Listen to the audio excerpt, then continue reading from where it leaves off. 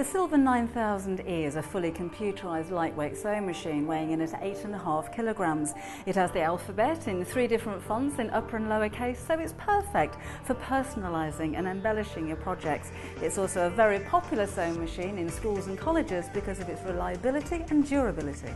The 9000E has 265 stitches, including those three alphabets and 12 one-step buttonholes. They're really easy to choose. All you need to do is decide which stitch you're going to use, choose the number and program it in.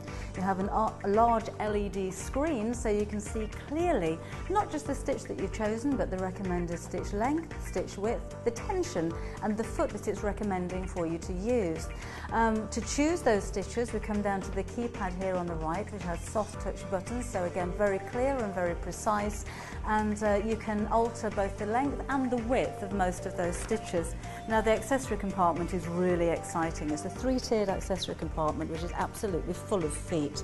So in the first stage here you have a rolled hem foot, you have a cording foot so you can do some lovely decorations. This is a zipper foot, then you have your over edge foot. We have a quarter inch foot which gives you a perfect quarter inch seaming if you're doing patchwork or quilting. This one's a gathering foot, all of this explained in the manual. You have an adjustable blind hemming foot and your one-step automatic buttonhole foot. It doesn't end there because as you come into the side of the machine, don't forget to look in here because there will be a box with your walking foot which enables multi-layers of fabric to be drawn through the machine at the same time. So for instance, if you're putting lining into um, a pair of curtains, your lining is going to be a lighter weight of fabric than your curtain fabric. We don't want it to slip and slide around, so the walking foot is invaluable, not just for quilters, but for home interiors. Now if I close over this accessory compartment and take off this arm, creating a free arm, inside here you have more. So you have your seam ripper, extra bobbins and extra spool pins so you can do twin needle sewing. And there's also um, a foot for sewing buttons on. You have a darning foot so you can freehand embroider with this machine and there's a satin stitch foot there as well. But let's click that back on and get sewing because this is what this machine is all about. Ease of use. So first thing to do is to choose my fabric and then choose my stitch. So if you go back to the inside of the lid, this is where all of your stitches are numbered. And there are five sections and they're all chaptered, if you like, by the circle with a stitch, the coloured circle, and then the three A's, which are the alphabets in the three fonts. So I want to go for one of the cross stitches, say number 45. So I need to go into the second of the modes by choosing that stitch.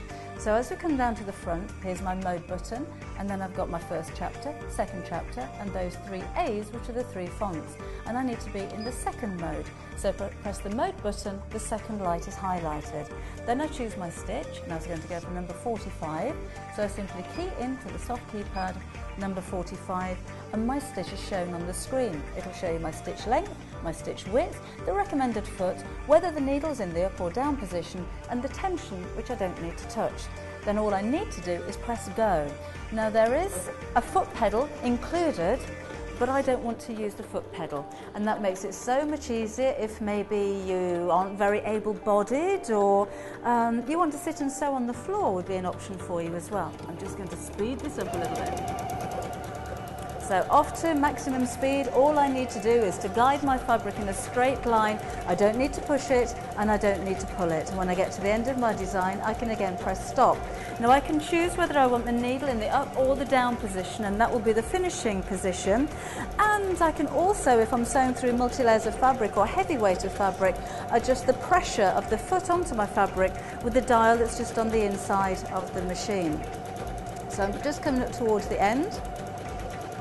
I can slow right down again if I need to be precise or if I'm sewing around a curve. When I'm happy with what I'm stitching, then I'll just press stop. My needle's in the upper position, so I simply take this out of the side, use a thread cutter at the side of the machine, and there is my perfect stitching. Now there's also a memory on this machine, so I can store my designs and I could maybe put a little bit of cross stitch next to a name or a number or different designs. But when it comes to embellishing, it doesn't get much more exciting than the stitches that you have on this machine, whether it's hearts or swirls or leaves or flowers, whether you're using a simple stitch or you want to pick out individual stitches from the designs, you're going to have loads of fun with this one. So I think you'll agree, an impressive machine for perfect sewing.